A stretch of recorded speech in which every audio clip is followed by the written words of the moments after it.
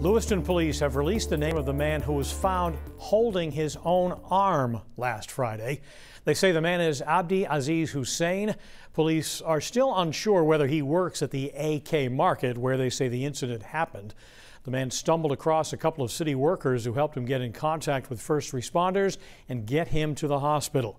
You can find the full story on the News Center Maine website.